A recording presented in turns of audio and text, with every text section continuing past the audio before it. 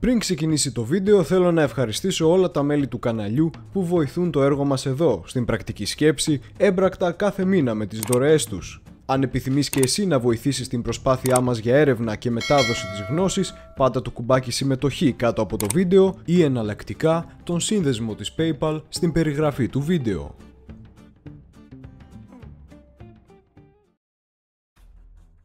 Σημείο τομή στην ιστορία μας είναι το βενιζελικό πραξικόπημα του 1935, στο οποίο βενιζελικοί αξιωματικοί προσπάθησαν να πάρουν την εξουσία δια της βίας από τα χέρια του Βασιλικού Λαϊκού Κόμματος, προκειμένου να αποτρέψουν στους βασιλικούς να επαναφέρουν τη βασιλεία. Το πραξικόπημα απέτυχε, οι Βενιζελικοί αποτάχθηκαν από το στράτευμα και οι Βασιλικοί μετά τις εκλογές του Ιουνίου του 1935 κυριαρχούν στο πολιτικό τοπίο. Το πρόβλημα είναι πως σε αντίθεση με τα θέλω των βασιλικών αξιωματικών, το Λαϊκό Κόμμα δεν τολμάει να προχωρήσει σε δημοψήφισμα για την επιστροφή της Βασιλείας. Οπότε ο αξιωματικός Γεώργιος Κονδύλης, ο οποίος αν και βενιζελικός στα νιάτα του τώρα το γύρισε, ανατρέπει την κυβέρνηση τον Οκτώβριο του 1935 και επιβάλλει δικτατορία με σκοπό να φέρει πίσω τον βασιλιά. Το Νοέμβριο του 1935 λοιπόν γίνεται δημοψήφισμα, όχι και πολύ δίκαιο, το οποίο εγκρίνει την επιστροφή του βασιλιά. Έτσι, ο Γεώργιος ο δεύτερος ως πρωτότοκος γιος του Κωνσταντίνου έρχεται από την Αγγλία για να αναλάβει τα καθήκοντά του. Σε αντίθεση με όσα πίστευε ο Κονδύλης, πως ο βασιλιάς θα του κάνει παρέα και μαζί θα φτιάξουν κράτος, ο βασιλιάς παραμερίζει τον Κονδύλη και βάζει τον πολιτικό Δεμερτζή να πάει την χώρα σε εκλογές. Οι τελευταίες προδικτατορικέ εκλογές του Ιανουαρίου του 1936 λοιπόν πάλι δεν βοηθούν στην πολιτική αστάθεια και η κυβέρνηση δεν έχει ισχυρές βάσεις. Βέβαια, υπάρχει κάτι ιδιαίτερο στην κυβέρνηση Δεμερτζή που τελικά σχηματίζεται μετά τις εκλογές και αυτό είναι η τοποθέτηση του Ιωάννη Μεταξάς στο Υπουργείο Στρατιωτικών. Ο Μεταξάς είχε και αυτό το δικό του κόμμα στη Βουλή, το κόμμα των Ελευθεροφρόνων, το οποίο ήταν φιλοβασιλικό. Ο Μεταξάς ήταν από τους πρώτους που πίστευαν πως το μόνο που μπορεί να σώσει την ασταθή πολιτική κατάσταση της Ελλάδας θα ήταν μια δικτατορία. Εκείνο τον καιρό τα δικτατορικά καθεστώτα λόγω της οικονομικής κρίσης του 1929 είχαν αρχίσει να κυβερνούν στην Ευρώπη ο φασισμός στην Ιταλία, ο ναζισμός στη Γερμανία, ο κομμουνισμός στη Ρωσία κτλ. είναι από τα λίγα παραδείγματα της πτώσης των βασιλικών και δημοκρατικών καθεστώτων στις ευρωπαϊκές χώρες και της αντικατάστασής τους από στρατιωτικά καθεστώτα. Η Ελλάδα δεν θα αργούσε να πάρει και αυτή τον ίδιο δρόμο. Ξαφνικά στις αρχές του 1936 ο Πρωθυπουργός Δεμερτζής πεθαίνει και μέσα στο πρώτο εξάμεινο του 1936 πεθαίνουν επίσης ο Ελευθέριος Βενιζέλος, ο Γεώργιος Κονδύλης και ο Παναγής Τσαλδάρης. Η Ελλάδα πλέον δεν είχε καμία ισχυρή πολιτική προσωπικότητα να διοικήσει τον τόπο.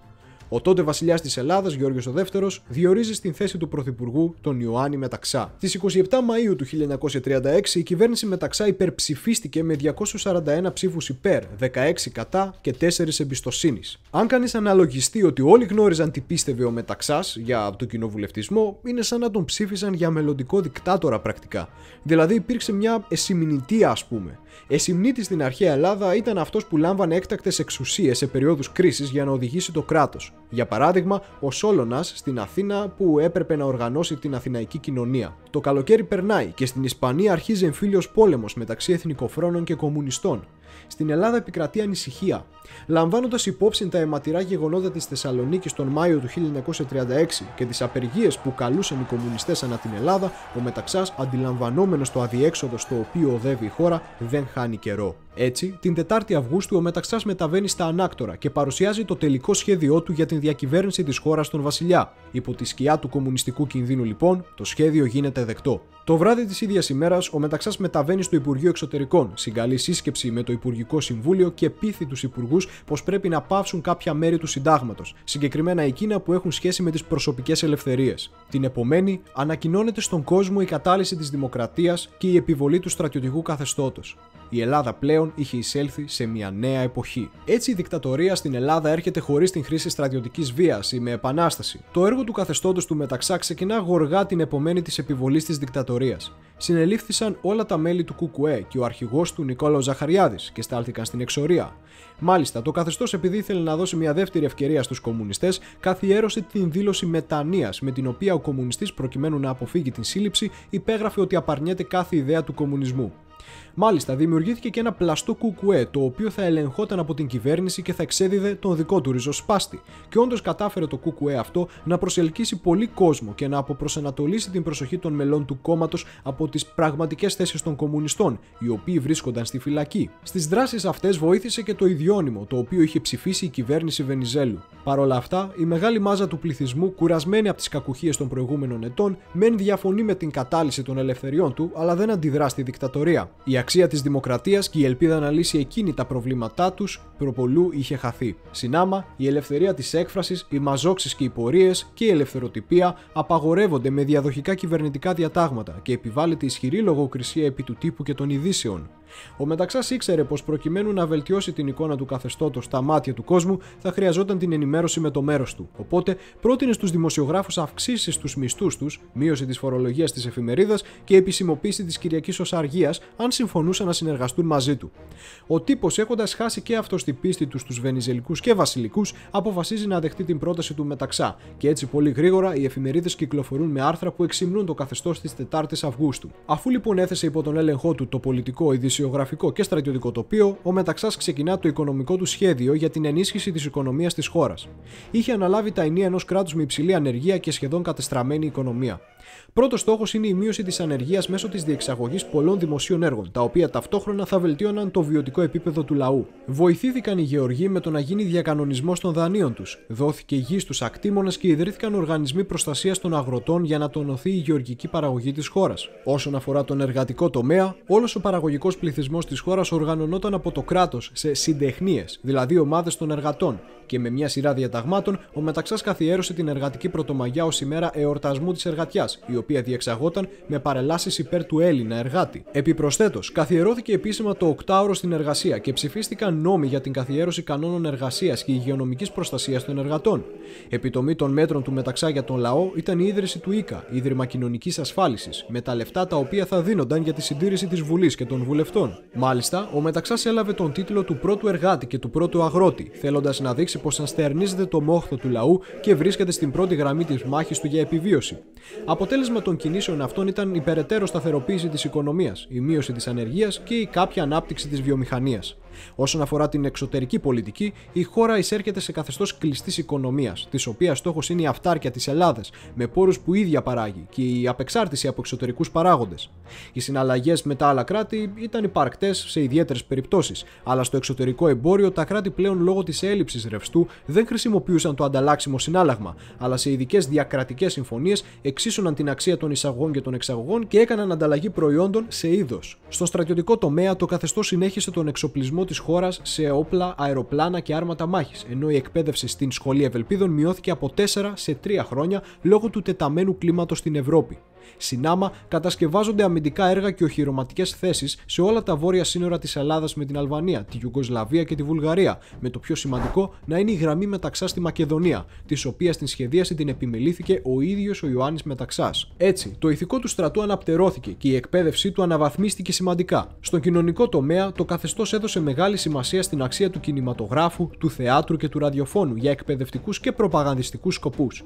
Βέβαια, στην τότε Ελλάδα δεν υπήρχαν ραδιοφωνική πομπή ή πολλοί κινηματογράφοι και έτσι ξεκινά καμπάνια του Υπουργείου Τύπου και Τουρισμού για την κατασκευή ραδιοσταθμών στις μεγάλες πόλεις της χώρας και την δημιουργία κινητών και τοπικών κινηματογράφων και θεάτρων. Στο θέατρο, που ήταν το αγαπημένο του μεταξά, παίζονταν αρχαία ελληνικά δράματα με στόχο την διαπαιδαγώγηση των ανθρώπων περί της αρχαίας Ελλάδας.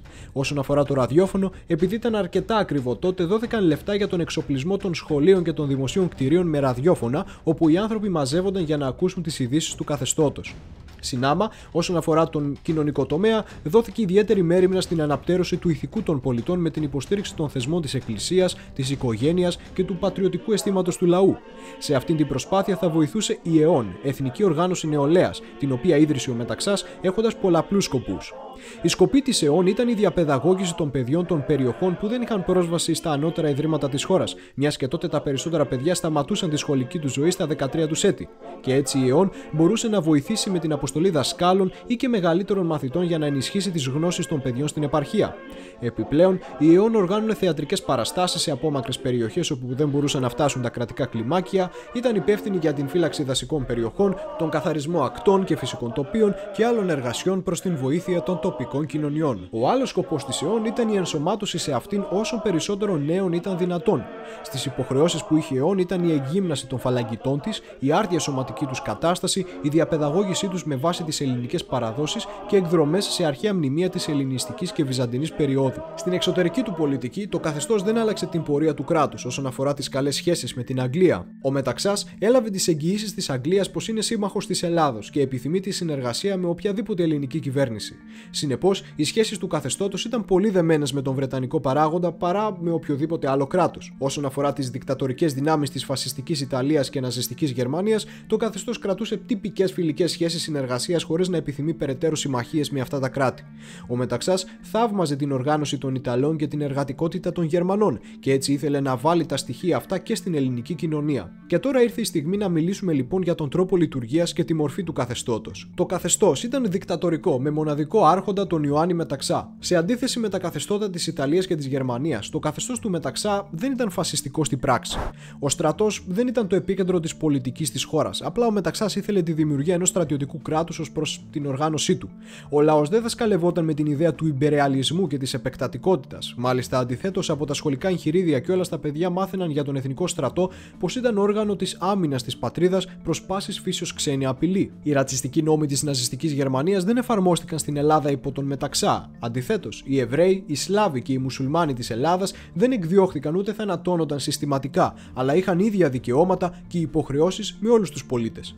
Το μόνο που υπήρξε ήταν η ασαφή αντιγραφή των μοντέλων οργάνωσης της βιομηχανίας, της υγείας και της κατασκευής δημοσίων έργων από τις χώρες αυτές, μιας και από ό,τι φαινόταν το πλάνο τους για ένα ισχυρό κράτος δούλευε και ο Μεταξά χρειαζόταν άμεσες λύσεις. Και έτσι, με αυτόν τον τρόπο οργάνωσης της ελληνικής πολιτείας, προχωρήσαμε μέχρι και την 28η Οκτωβρίου του 1940, όταν τα σύννεφα του πολέμου άρχισαν να φτάνουν πάνω από την Ελλάδα.